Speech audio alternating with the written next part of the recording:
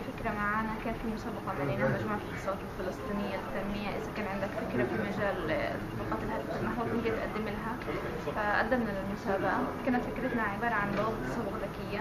البوابة بتكون بتخليكي تستكشفي المكان اللي حواليك تشوفي service حواليك من شركات من مؤسسات من أماكن عمل. تستكشفيها باستخدام ال device تبعي آه، استمرت المسابقة تقريبا سنة.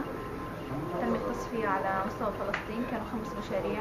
كنا مشروع من خمس مشاريع فائزة. كان مشروعين من تم الاتفاق مع شركة جوال قامت شركة جوال باتفاق مع مع two applications كل application تبعنا من مدينة غزة بالنسبة لأهمية ال application في السوق المحلي الفلسطيني إحنا شفنا شو في تطبيقات موجودة. شو في كمان حاجات إحنا نفسنا نحتاجها يعني اجرينا دراسة على أكثر من مؤسسة على أكثر من شركة. وزعنا كمان surveys على الناس إنه هل لو صار إنه في تطبيق معين بوفر لك شو في حواليك أماكن شو في حواليك شغلات تتعرف عليها.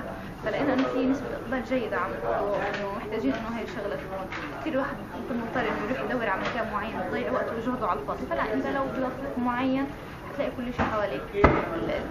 الجهة الثانية أو الشغلة الثانية من المشروع كمان إنه في عندك المؤسسات المؤسسات معنية أو الشركات معنية إنها تصل للناس اللي هم معنيين فيها.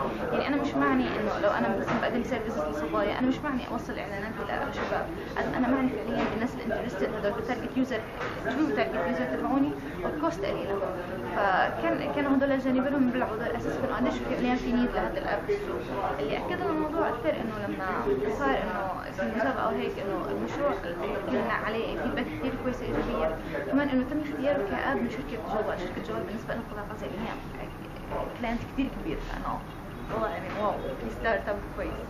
هلأ يمكن إحنا من الشغلات الإيجابية اللي صارت معنا إنه كنا خايفين إنه كيف بدنا ننزل ال application اللي صار إنه لما اتفقنا مع جوال هي تكفل انها توزع ال app في على ال clients تبعونهم من ضمن ال services تبعتها. فكنت بتحكي على عدد كبير يعني فوق ال 5000 يعني معاهم smartphones ومش بس على ال iOS لا في عندك ال iPad في عندك ال Android في كمان حتى ال devices تبعت النوكيا كنا بفكر إنه برضه متوجه لأنه في نسبة برضه عالية منها فهي شغلة ثانية في ال social media ما كناش مسؤولين من موضوعها website وكمان ال ads العادية من إحنا نفسنا معارفنا من خلال كثير من خلال المؤسسات هي من خلال المعارض اللي ممكن نشارك فيها. فهي كلها بتعمل إنه بتعمل اسم للشركة بتعمل تعرف الناس شو إحنا شو ال service اللي بنقدمها.